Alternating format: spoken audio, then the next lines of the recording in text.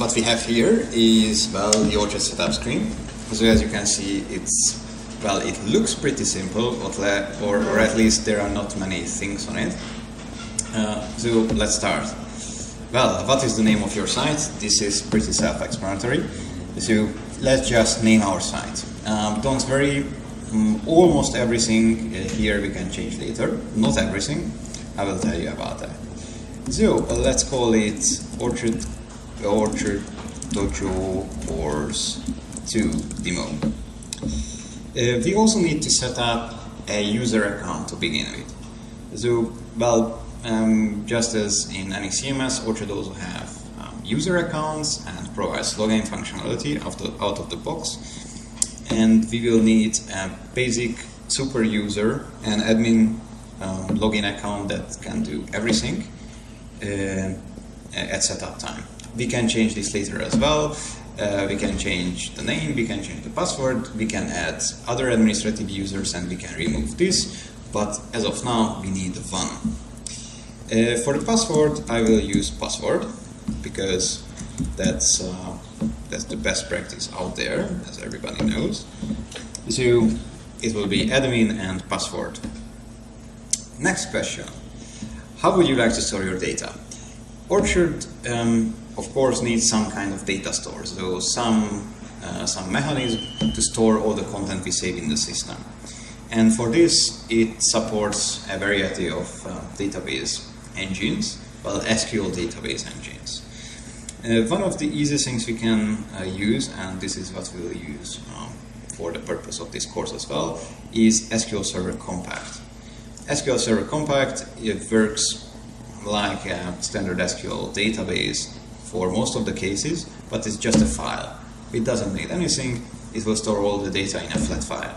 Now, of course, this is not something you would, uh, you would use in a, in a high, uh, high um, performance, uh, popular production application, but for basic science and especially for local development, it's good enough.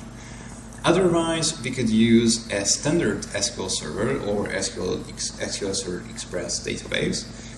Um, if you are familiar with that, you know that uh, to connect to, to such a database, you will need a connection string, so we need to supply it here. And furthermore, we can also configure a database table prefix. Now, multiple application can, applications can use the same database, even multiple Orchard applications can use the same database. We also see how this happens, by the way, um, on later uh, lessons. But here you can uh, configure um, a prefix that will be appended to the, the, beginning of each table name. So in the database you will be able to uh, filter on that for just this application. Um, we could also use MySQL or PostgreSQL um, as the database file which has similar uh, or which have similar configuration options, but we'll just stick with SQL Server Compact. And the last thing is, is that we need to choose a so-called recipe. And as you can see, we have three options here. Now what is the recipe? A recipe is basically an XML file that contains or can contain uh, content and configuration uh, related to Orchard. It can also execute commands on the system. So basically, um, it's also an export format, so you can export an Orchard's content, uh, Orchard website's content and configuration to a recipe. And secondly, uh, such recipes or, or selected recipes can also be used uh, during setup time. Um, setup recipes can kind of cook a website, or with setup recipes you can cook a website uh, to an extent. So these recipes will provide some default configuration content for us. Well, uh, the blog will configure a blog. The core recipe is just very bare bone. It doesn't contain uh, pretty much anything, just the, the essentials. What we'll use is the default recipe, which contains some sample content and uh, and it has all the basic useful modules uh, enabled. So when we click finish setup, the setup will run. You also see that Orchard is cooking our recipe, which is kind of a execute for the game. And uh, once this finishes in a few seconds, we will see our freshly cooked Orchard website, which also happened. And I will just save the, the password because it's quite complicated and I won't be able to remember it for next time. So, um, that's what we see uh, once the default recipe is executed. Does this happen, or did this happen for everyone? Yeah. Yeah, yeah. Okay. Um, what we see here is um, some sample content that our default recipe has given us. Uh, this whole thing here is a so-called page, uh, which has different sections, as you can see. Um, this, these are called elements, by the way, and we will see how such pages are edited um, uh, very shortly. But otherwise, um, here at the bottom we have some links. Well, we could sign out. Uh, when we click this user um, username, uh, we can change our password. but we don't won't do because just password is good enough, of course. And we can go to the dashboard. Now this is the most interesting thing. Uh, as you can see, we went to slash admin. Now, uh, by default, the admin area of Orchard is under slash admin, where administrator users, like the one we created, can log in. And well, you can change everything that you are able to change as a user here on the admin screen. On the, um, well, in this mid section we have some static widgets. Um, these are these are never changing, well, apart from uh, the one that indicates the latest Orchard version. Um, so not much interesting here. But on the left we have, well, the admin menu. And as you can see, um, while the default recipe hasn't enabled absolutely everything in Orchard, still we have quite many menu items. We'll go through the most important ones uh, a bit later, but for now, now let's take a look at this settings menu here. This can be also opened, and as you can see there are even more settings. But first let's take a look at the basic settings. So I'm, I'm just clicking settings. Here you can see that uh, we have the site name, which we could change here, uh, as I promised. Uh, we could also change the base URL, well, which is the, the root URL of the application. As you can see, this was automatically filled uh, during setup from the current default local URL. Um, this is um, only used to, to build certain links, so it's not that important right now.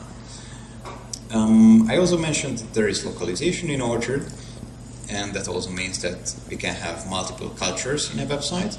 By default, Orchard uses the US culture, but we could add new cultures here. So if I click this add or remove supported cultures for this site, we could add, for example, the Hungarian one. Oops. Here. I selected it and I'm now adding it. If you go, uh, if you go back to the settings, we see that now we can change the default site culture to Hungarian. Now, changing this alone wouldn't do much. If we take a look at the source code, which we can do with Control U, we see that, um, well, the culture is indicated in the HTML tags um, attribute as well. Mm, basically, that's the only thing that would be apparent uh, to change when we change this. Um, some some some date displays would also change, but the language of the site wouldn't change. For that, we would need to install localization packages. Uh, how to do that, uh, we will uh, probably see later, but it's also also um, explained on the Orchard website.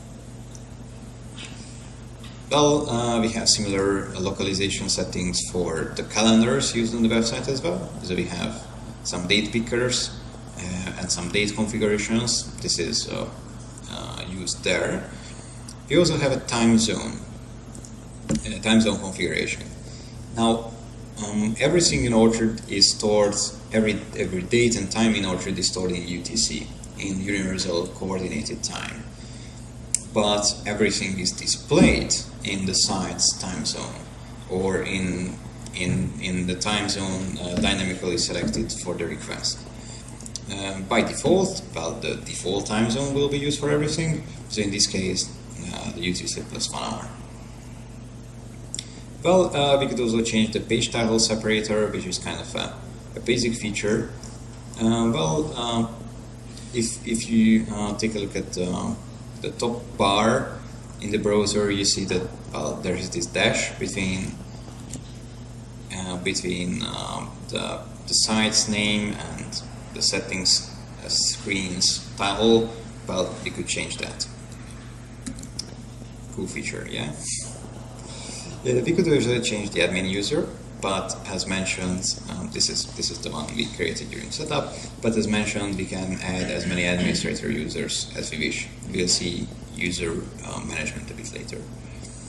Um, resource debug mode uh, and what resources are we will cover later, just as what CDNs are.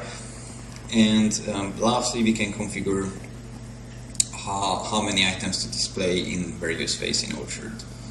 Mm, this is again some basic size setting.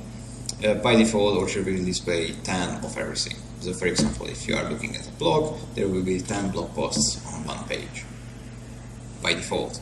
But this is well, changeable here and also configurable in a variety of ways and as a developer can also override that in a of ways. Um, that's it for now. Um, this was the basic Orchard setup and the basic Orchard settings. Next, we will cover some of the still basic features, but getting a bit deeper.